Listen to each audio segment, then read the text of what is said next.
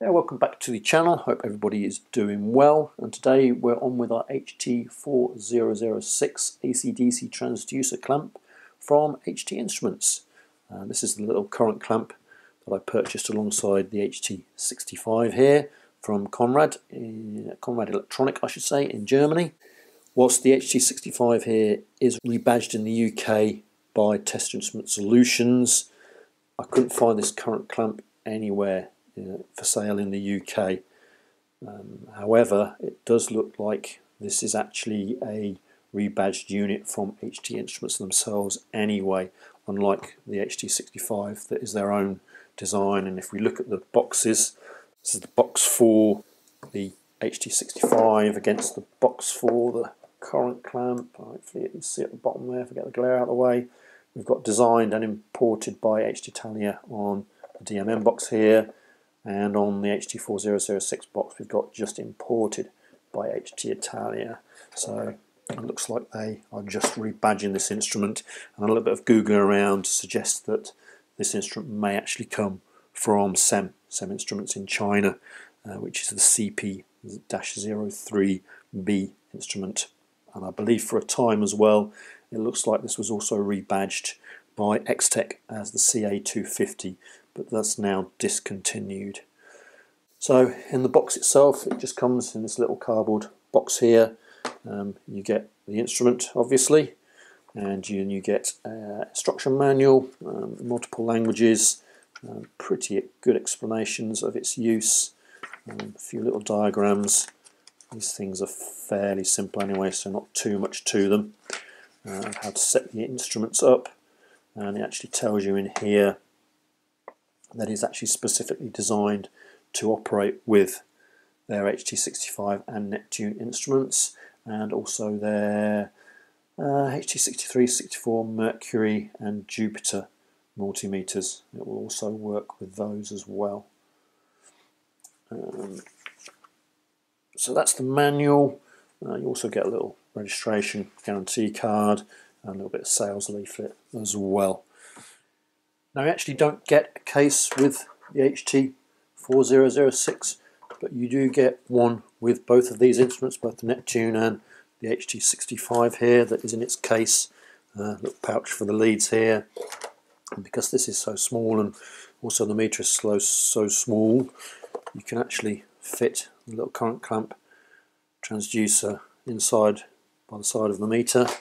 And you will still be able to do the case up and carry it around like that.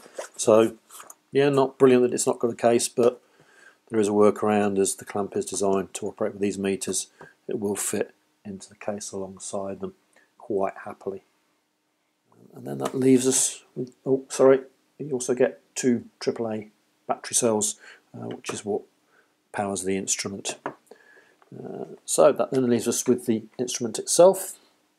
Slightly um, soft rubberized feel to this grey outer casing uh, and then uh, just hard smooth plastic on the actual current clamp aspect of it itself.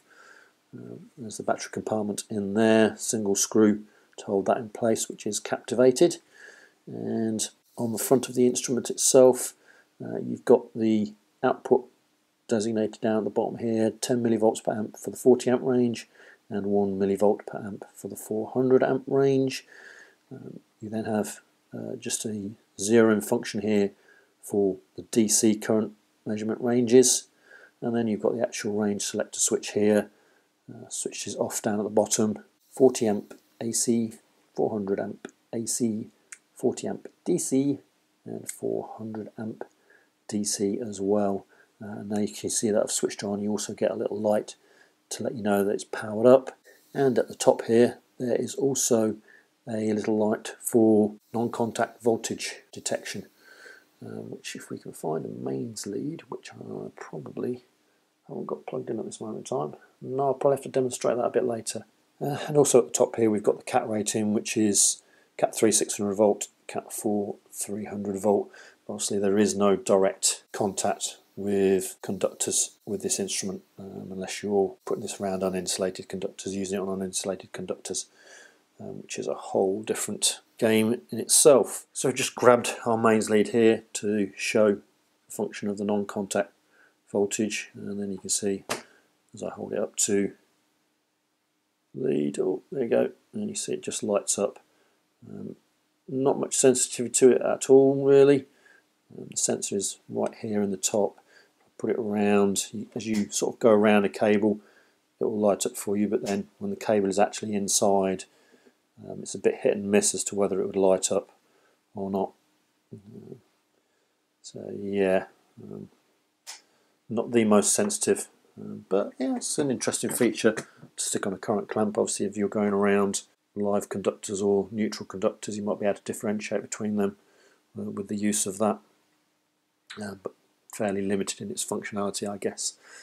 Um, so that's the instrument itself. We'll just pop the cover off um, and have a look inside. Uh, so we'll see what we can find. So that's the little cover, a little sponge there for the batteries to keep them a little bit tighter, and the screw is captivated as well, uh, alongside a little brass insert in there for the cover screw as well. Let's pop batteries out. And uh, a big screwdriver by the looks of it and see if we can get inside. Just two screws to take this cover off.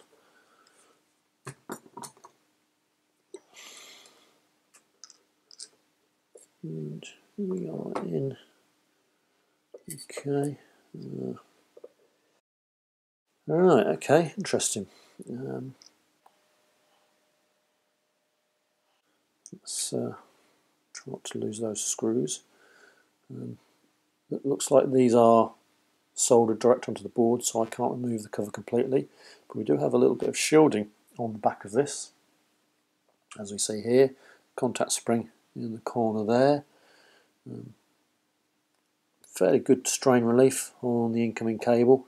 Looks like there's a, some sort of an attempt with some glue there to secure the actual cores themselves. Um, other than that, we don't see an awful lot.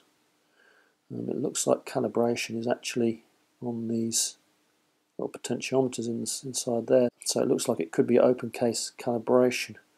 Um, little PTC there onto the input. That's all the protection there is, but as I said, this is just going on to a, a multimeter. There shouldn't really be any uh, exposed to any spikes really. Um, head up in there. I'm trying to make out the uh, designations on there. I can't see anything that does suggest that it's made by SEM, but obviously it could be on the other side of the board. Okay, let's just drop that screw out and see if we can see anything on the other side of the board. Probably going to regret doing this.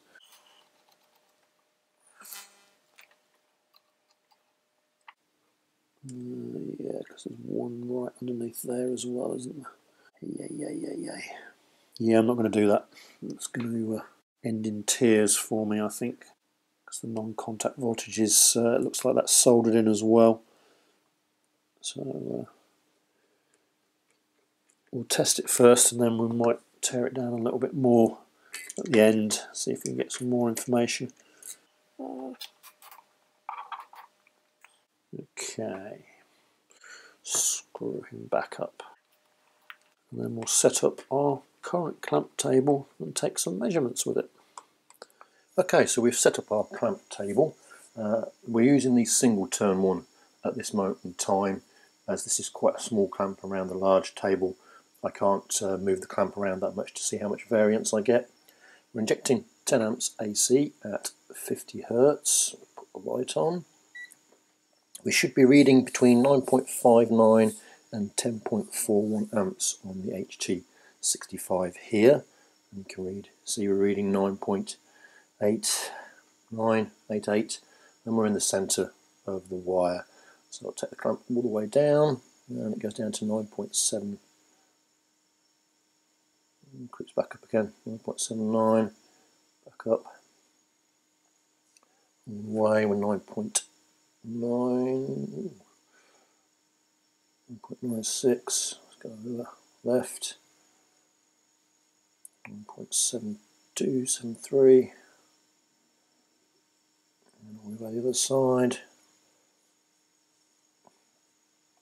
9.88, 9.89. Yeah, it does vary about a bit on that last digit. Um, I don't know whether that's the clamp or whether it's the actual instrument, to be honest. And we'll put it back in the middle and we'll just convert this to DC. And we need to change our meter as well. Uh, there's 10 amps, 10 amps, there's 40 amps DC, so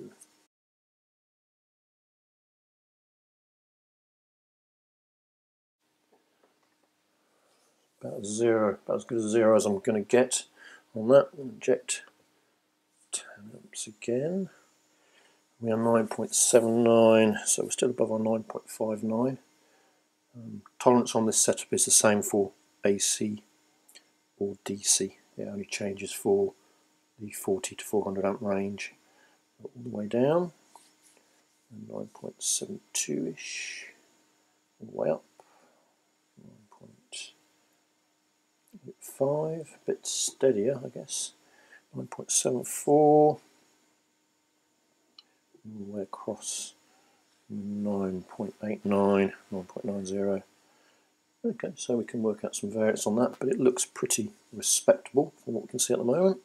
We'll strip this down and we'll put on a larger clamp table and we'll do some measurements on the 400 amp range. Okay, so we've moved everything over to the 10 turn coil now, and we're still on the 40 amp DC range.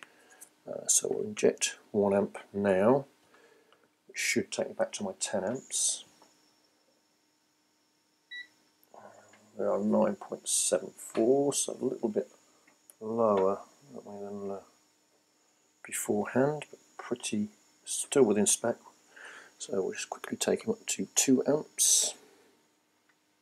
Should be at 20. Again, we'll take up 3 amps. Should be 30 amps now, and we should be 29.29 to 30.71. We're just slightly out, but my uh, zero wasn't brilliant, was it? Um, 4 amps, which is max on this one. We are 39 amps and we should be between 39.14 and 40.86. So we are reading a little bit low. And obviously take him up with our zero, so no, 39.5. Let's switch him off, let's see where our zero is. Down here 0.54 so not zero. So it does seem a little bit out on the top ranges at this moment in time. Um, you might be able to stick on a millivolt meter and just see if it's this instrument or if it's the uh, transducer clamp. So let's just uh, we got AC don't we? Let's go AC and do the same. Change to AC on the meter. And then we'll change our test set. And away we go again. So 9.88 we're in spec there. Let's go 2 and we are 19.5051 so we're in spec there let's go 3 amps uh, 29.57 so we're in spec with that one as well and our final 4 amp. Uh, 39.22 should be 39.4 minimum. Creeps up a little bit. So yeah, he's all in spec on the AC side, just DC was a little bit rough. So we'll reconfigure and go for the 400 up range.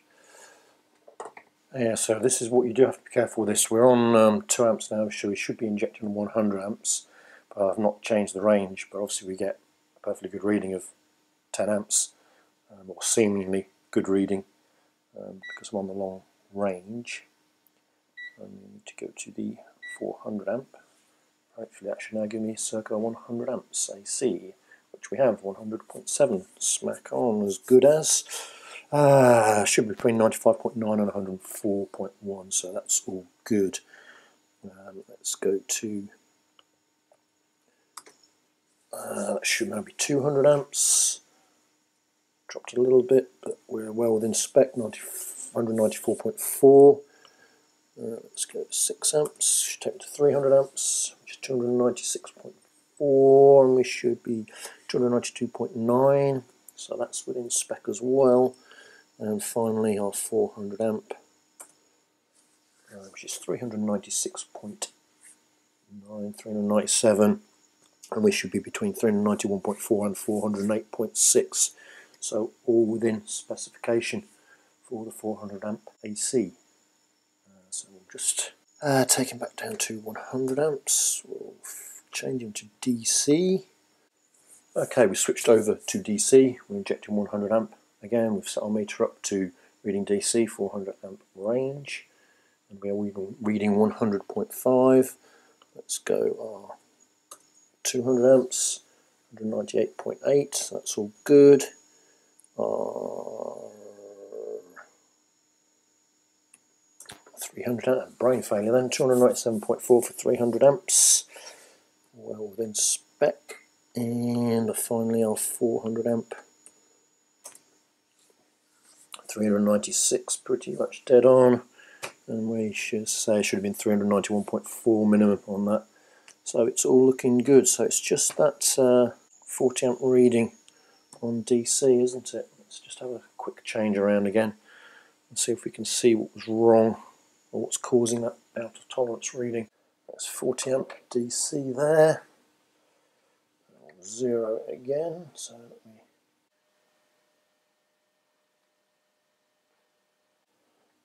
zeroed and we will inject. Okay, so we're back on our 40 amp measurement. We're injecting 40 amps and we get 38.76, which is below the 39.14 limit. So let's just bring our uh, millivolt meter in. Uh, see what we are getting. Now obviously, let's just make sure here.